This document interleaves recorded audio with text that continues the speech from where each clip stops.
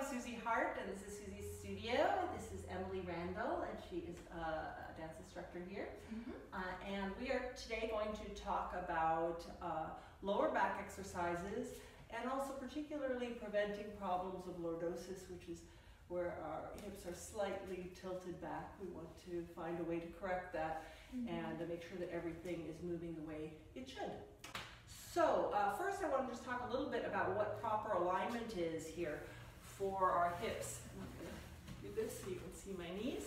Um, and uh, if we go from side to side, I can see I have this tendency anyway to be slightly, see this slight Mhm. sway in my back. If I just really relax, it goes kind of like this. Right. Now, there's a few problems with that. What's happening is I have a little bit of collapsing, uh, so this kind of goes back, but also you can see what happens with my feet and knees when that happens is that my knees uh, Oh, yeah. rotate inward. Hmm. See, if I collapse this back, Oh, my yeah. uh, upper legs rotate in, and since I also tend to have fallen arches, they go in, and we end up with a problem that my knees are not necessarily uh, tracking in the way that they should. Uh, but also, this problem is um, that we tend to start using the upper part of our legs and ignore all these very strong muscles in the back that can help us for everything we do. Hmm. So, and, and this is common among women and also um, exacerbated again by these tight hip flexors that we get from sitting a lot. Right. So, we're going to talk about a few things to do to overcome that tendency and get our bodies in proper alignment. yes. So, first thing we're going to do is our hip flexor exercise, which we did in also in another video.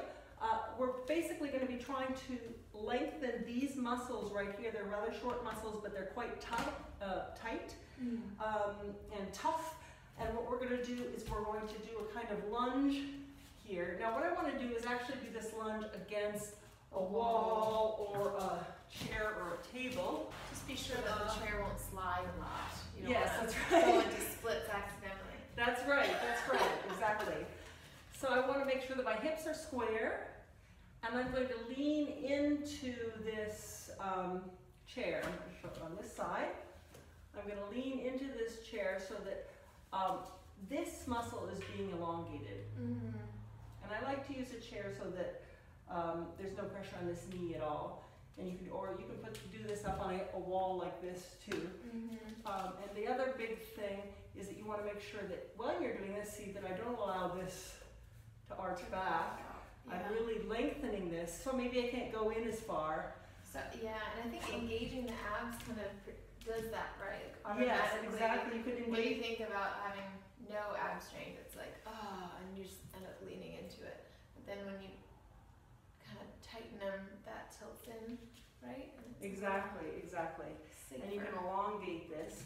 So you can see now Emily has a straight line right here. Mm.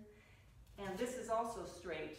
I mean, there's always a natural, um, you know, curve in your lower back. Mm. But on these kind of exercises, I almost try to minimize that. So almost Yeah. lengthen it out so that it's a little bit yeah, flatter than what normal is, just so you can really stretch this. Mhm. And the other thing you can do is kind of tighten your uh, That your bum back there to kind of uh, pull that together, and you'll feel even a greater stretch. Yeah. So this Oh. stretch you want to do, yeah, you can feel it. yeah, um, this one you want to do about 20 seconds on the right, 20 seconds on your left, like so you do three sets. Mhm. Um, and you can do this throughout the day or do it, um, you know, whenever you have time. yeah. So now the next thing we want to do is a bridge exercise. You're on. Okay, so here I am down on the ground. Uh, here are my hip flexors that we've been talking about.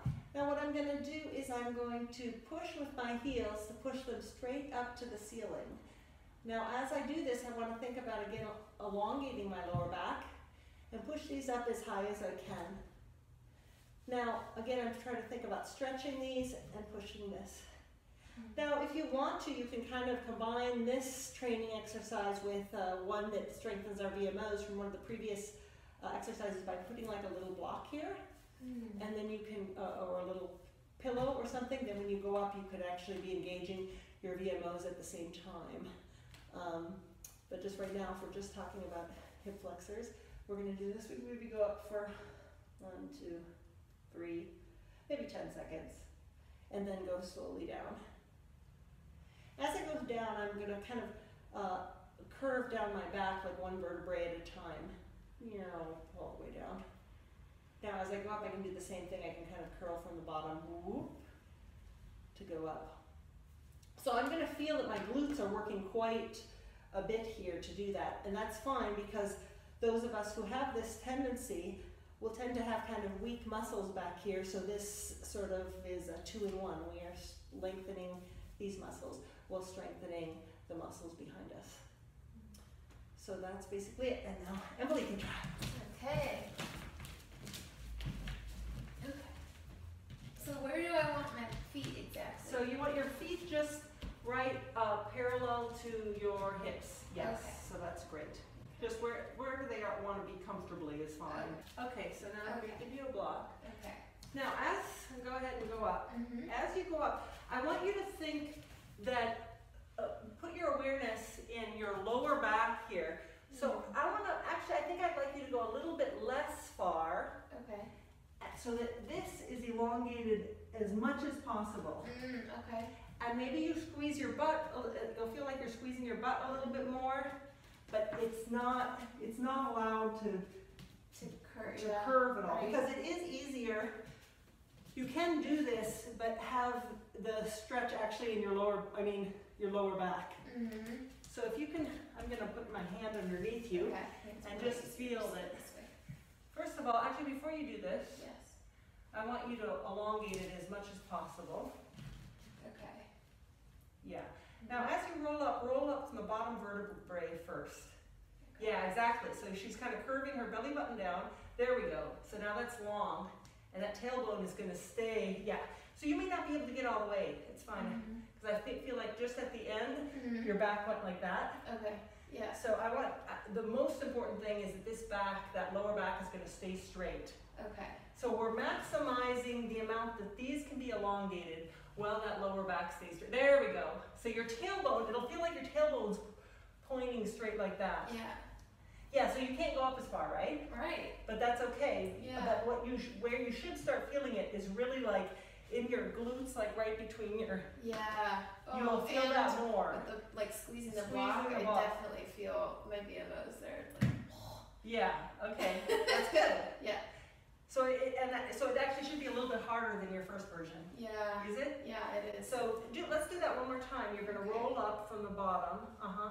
Yeah, yeah. There we go. So you're resisting the. There's a tendency because it's so easy. Our, our lower backs are so flexible, so it's so easy to just bend it. So then your hips will come up, but we don't want that. right. Yeah. Even if they're even there if they're just it's still curved a little bit like this, your back. What what we're resist we, we want to be stretching those 2 hip Mhm. flexors, and we want to train that lower back to stay nice and long, so we Right. never put any pressure on the Oh, lower was back. good to know. Yeah, you did. You're a good, you're a good model. Now, as you go down, go ahead and go okay, down again, okay. because now we're gonna we can work all these muscles. I'm making you do all the work Yeah. Yep. So now as you roll down, I want you to do the reverse. So you're going to do the vertebrae up here, gradually rolling down to the, the bottom. Yeah.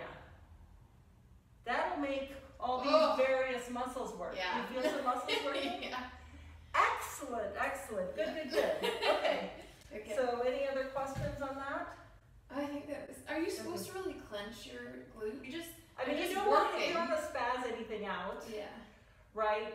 But I feel like I'm actively pushing down with my heels, Uh huh. which is engaging everything. Okay. But I do feel like there's some energy flow, so I'm not just going like this with my glutes Yeah. as a separate muscle, but I feel like I'm pushing my heels down to the ground that then in, is kind of pushing like energy all the way Right. to push that up. Okay.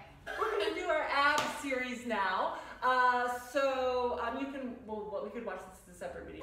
We're gonna do our abs series now. Uh, so um, you can, well, well, we could watch this as a separate video.